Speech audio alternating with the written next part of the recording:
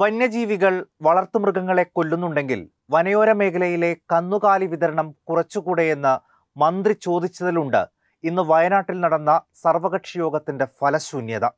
ഇനി വനയോരങ്ങളിലെ ജനങ്ങളെ കുറയ്ക്കാൻ സർക്കാർ പറയുമോ എന്ന് ചോദിച്ചാണ് പ്രതിപക്ഷം യോഗം ബഹിഷ്കരിച്ചത്. കാടിറങ്ങി വരുന്ന വന്യമൃഗങ്ങളുടെ വിഹാരം തടയുന്നതിന് ക്രിയാത്മക നിർദ്ദേശങ്ങളും തീരുമാനങ്ങളും ഇന്നത്തെ യോഗത്തിൽ വന്നോ എന്നത് സംശയമാണ്. മാനന്തവാടിയിലെ കാട്ടാന ആക്രമണത്തിൽ അജീഷ് എന്ന കർഷകൻ കൊല്ലപ്പെട്ടിട്ട് പത്ത് ദിവസം കഴിഞ്ഞു. പോൾ എന്ന വാച്ചർ മരിച്ച് നാല് ദിവസവും.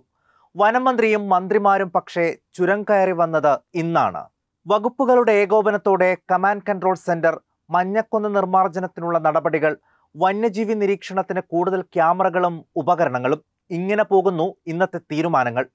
മുൻ യോഗങ്ങളിലെടുത്ത തീരുമാനങ്ങളാണ് പലതും. വന്യജീവികളെ ആകർഷിക്കാൻ റിസോർട്ടുകൾ നടത്തുന്ന നീക്കങ്ങൾ ചെറുക്കും എന്നുള്ളതാണ് ഇന്നത്തെ എടുത്തു പറയേണ്ട ഒരു തീരുമാനം. വയനാട്ടിൽ കൂണുപോലെ പെരുകുന്ന റിസോർട്ടുകൾ പലതും മൃഗങ്ങളെ കാണിച്ചും സഞ്ചാരികളെ ആകർഷിക്കുന്നുണ്ട്.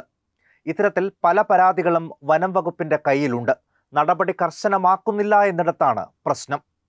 രണ്ടായിരത്തി ഇരുപത്തി മൂന്നിൽ വയനാട് തൊണ്ടർനാട് പുതുശ്ശേരിയിലെ തോമസ് എന്ന കർഷകനെ കടുവ കൊന്നതിന് പിന്നാലെ വനം മന്ത്രി വിളിച്ചു ചേർത്ത സർവകക്ഷി യോഗത്തിലാണ് വയനാടിനായി മാസ്റ്റർ പ്ലാൻ എന്ന തീരുമാനമെടുത്ത് പിരിഞ്ഞത്. മാസ്റ്റർ പ്ലാൻ പതിനൊന്ന് മാസമായി വനം വകുപ്പ് ആസ്ഥാനത്ത് തീരുമാനം കാത്തു കിടക്കുകയാണ്. തേക്കും യൂക്കാലിയും വെട്ടിമാറ്റി അവിടെ സ്വാഭാവിക വനം വളർത്താനുള്ള തീരുമാനം നേരത്തെ എടുത്തതാണെങ്കിലും ഇതുവരെ നടപ്പാക്കിയിട്ടില്ല. തീറ്റ തേടി മൃഗങ്ങൾ കാടിറങ്ങുമ്പോൾ മയക്കുവെടി വെച്ച് കീഴ്പ്പെടുത്തുകയും നാട് കടത്തുകയും ചെയ്യുന്ന അഭ്യാസം എത്ര നാൾ തുടരാനാകും? പരിക്ക് പറ്റിയവർക്ക് മെച്ചപ്പെട്ട ചികിത്സ പോലും ഉറപ്പാക്കാൻ കഴിയാത്തതിന് എന്തു മറുപടി സർക്കാരിന് പറയാനുണ്ട്? വയനാടിന് വേണ്ടത് ദീർഘകാലാടിസ്ഥാനത്തിലുള്ള പദ്ധതികളാണ്.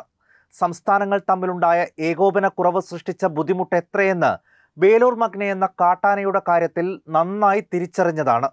വന്യജീവി പ്രശ്നത്തിൽ കേന്ദ്രവും സംസ്ഥാനങ്ങളും രണ്ട് തട്ടിൽ നിൽക്കുന്നത് പരിഹാരം വൈകാനെ ഇടയാക്കൂ.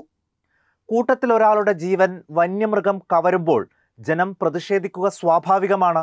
കുറേ നാളായി ഉള്ളിലെരിയുന്ന നീറ്റലാണ് പ്രതിഷേധമായി ആളിക്കത്തിയതും. പക്ഷേ ജില്ലയുടെ ചുമതലയുള്ള വനം മന്ത്രി പോലും ഇന്ന് മാത്രമാണ് വന്നത് എന്നത് ന്യായീകരിക്കാവുന്നതല്ല.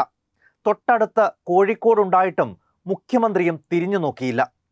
എടുക്കുന്ന തീരുമാനങ്ങൾ നടപ്പിലാക്കാനുള്ള ജാഗ്രത കൂടി സർക്കാർ സംവിധാനങ്ങൾ കാണിച്ചാൽ ഏത് ജനക്കൂട്ടത്തിനിടയിലും എപ്പോഴും സധൈര്യം വരുന്നതിന് മന്ത്രിമാർക്കും ജനപ്രതിനിധികൾക്കും പേടിച്ചു നിൽക്കേണ്ടി വരില്ല.